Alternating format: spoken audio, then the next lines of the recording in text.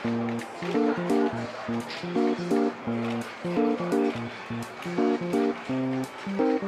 的，可以的。我觉得，如果啊做了演员之后呢，你也想多一些不同的啊，就是呃不同的歌词去做的，因为你想就是突破自己嘛。